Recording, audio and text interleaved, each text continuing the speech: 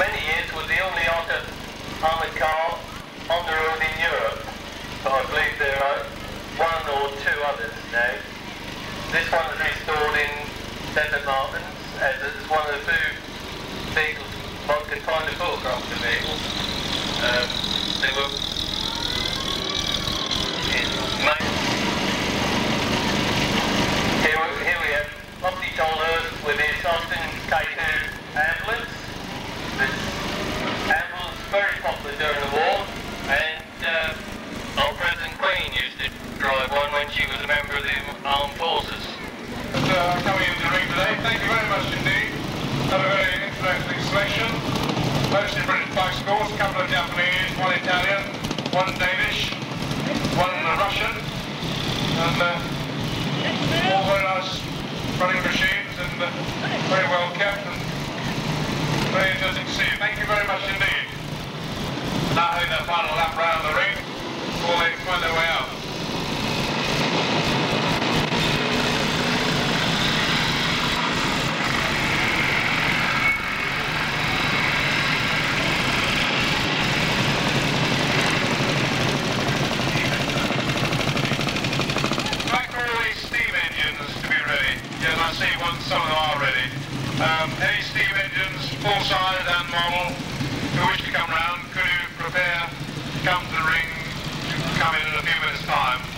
motorcycle without making their way out, so we'll be ready to put the steam engines until the best time. So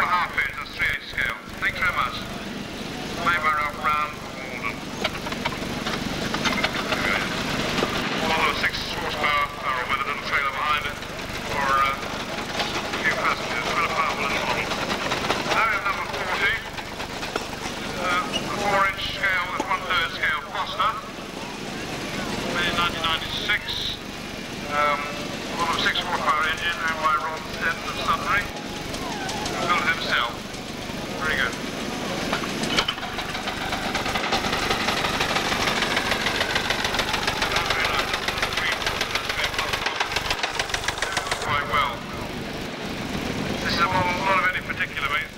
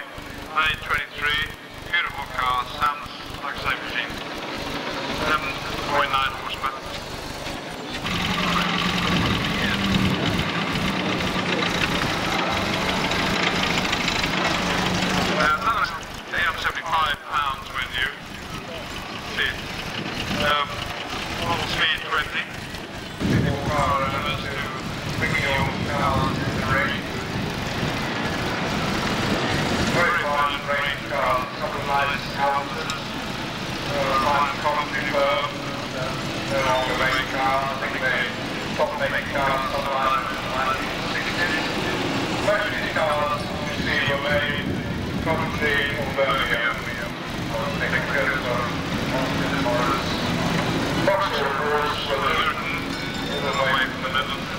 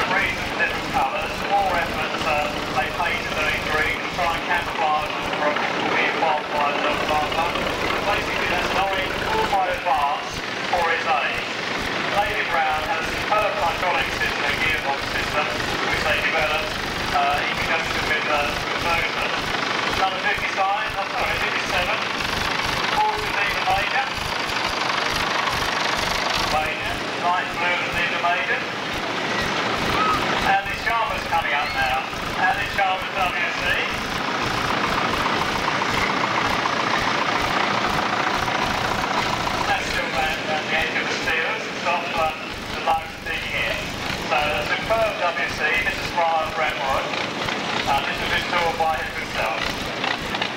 Number 62, another great bogey. Very high quality. Uh, Fordson, 1944. Mr. Martin Essex. Out of scrapyard. Tractor. And restored by, by Mr. Martin. Yeah. Set to a clean up. Number 64, bogey. There's quite a lot of these here today. And of course the great bogey. This one, Miss Martin of uh, Felton. Very successful tractor. Many, many made because they were advanced ahead of their time and they were extremely well, you know, a small holding tractor um, with underslung implements, for example, hose, uh, so you can actually see what you were doing when you hoed the crops and they sort of carry animal feed around the farm, pig feed, etc. They weren't really an all-weather, if you like, vehicle, they weren't for that. But they were found in a garage in Ipswich and restored by Tom Wells, the present owner.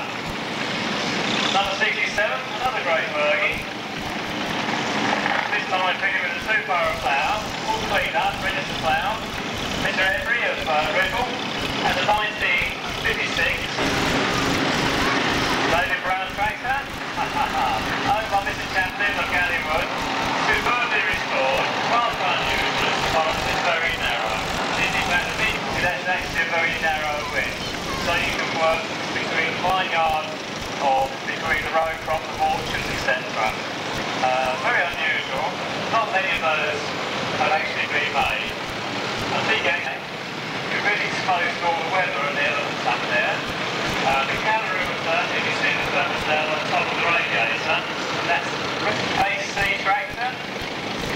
Mr. Of uh, Stanfield, Barrett Edmonds, 1934 model. Very high quality tractor, the KC. Again, internal.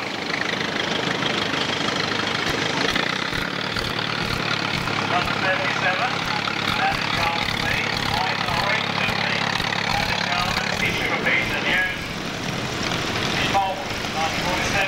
on the Fresno report date that were restored. Go from the auction and an old and um,